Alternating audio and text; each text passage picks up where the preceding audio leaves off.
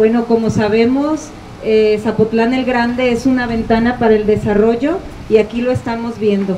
Yo quiero agradecer y felicitar a empresarios como los que tenemos hoy aquí presentes, empresarios que arriesgan por el bien de, de, su municipio, empresarios que buscan el bienestar de las familias. Los felicito por esta, este, esta labor que hacen porque eh, claro que esto es, un trabajo, es un, pero siempre buscan en todas sus, sus obras, en su constructora, darle lo mejor a las familias que van a estar viviendo. Este, este fraccionamiento fue creado con todas las medidas eh, que tienen que ser para que las familias se desarrollen mejor, cuidando todas las calidades y es como se debe de, trabajar.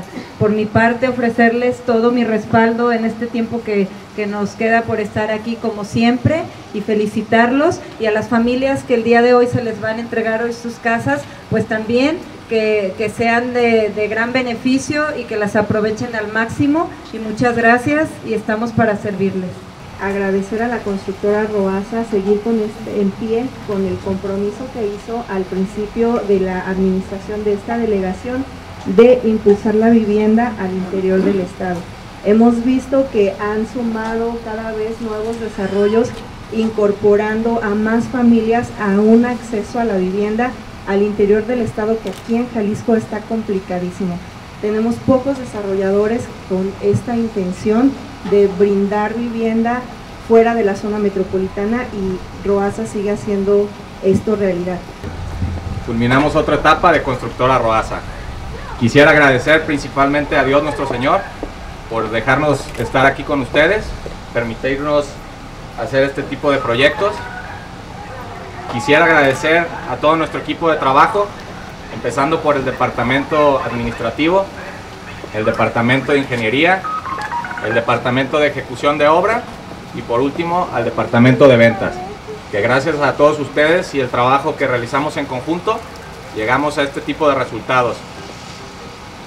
Llegamos a realizar los proyectos de la mejor manera posible, siempre tratando de satisfacer sus necesidades y estando al pendiente de todo lo que llegue a surgir en el transcurso de la entrega.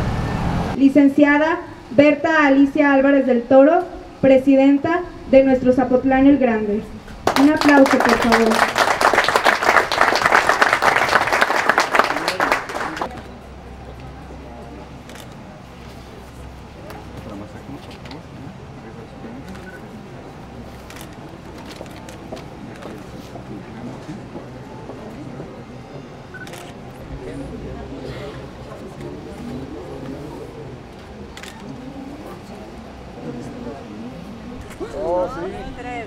En este momento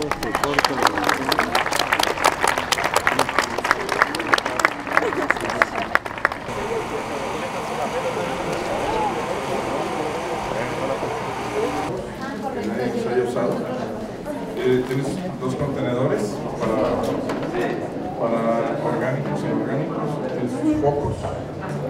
Y también vienen, son focos ahorradores